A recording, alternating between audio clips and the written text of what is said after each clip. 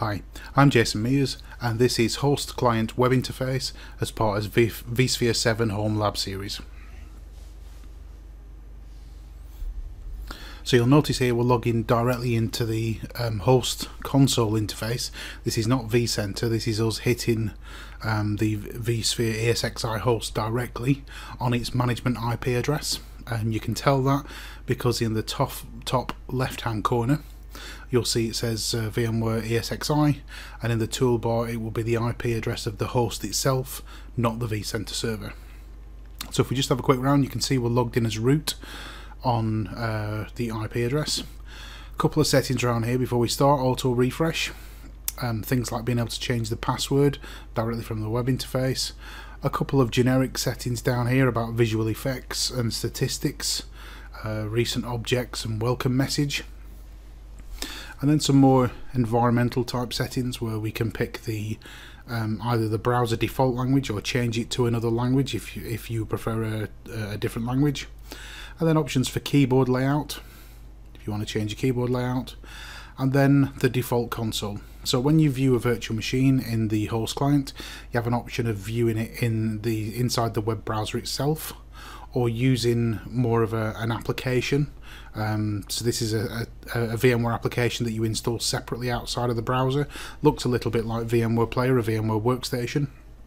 We've got some settings here for timeout, so how long, um, how many minutes of inactivity you can have before you have to re-log in again.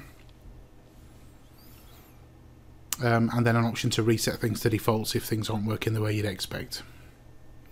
Um, up in the help in the top right hand corner you can see version information about the host itself and the client. There's also the um, web-based documentation which is always kept up to date uh, an easy way to link to get to that. Um, there's also an update which allows you to apply patches and updates or VIBs.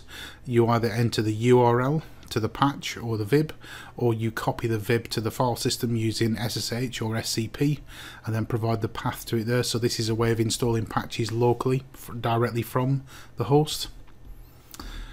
Um, and then there's some more tools and links here. So we've got something called the Management Object Browser or MOB browser. This is quite a, a complicated and daunting part of the client.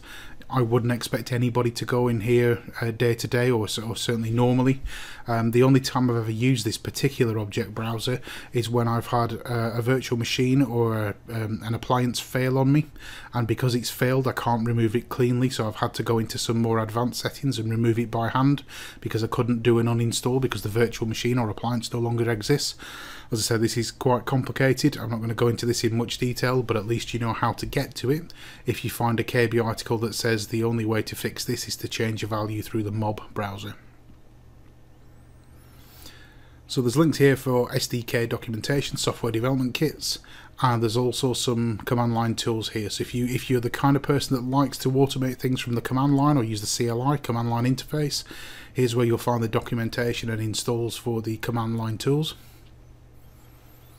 This is the link for the VMware Remote Console. This is, um, in this instance, it would be a Windows application that I would install locally, and it gives me a remote console to a, a virtual machine uh, using a Windows application rather than through the web browser.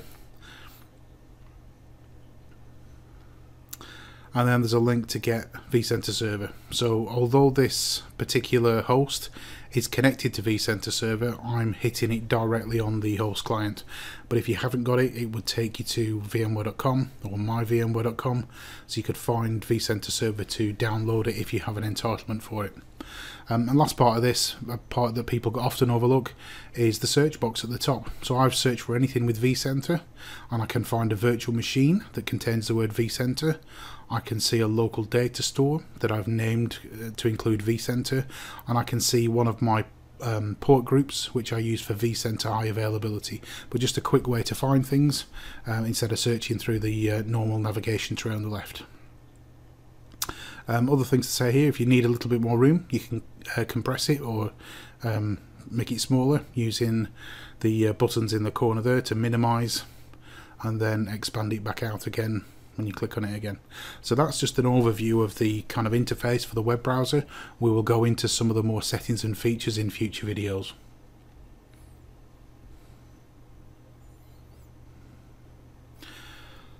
So that was um, host client web interface, part of the vSphere 7 Home Lab series.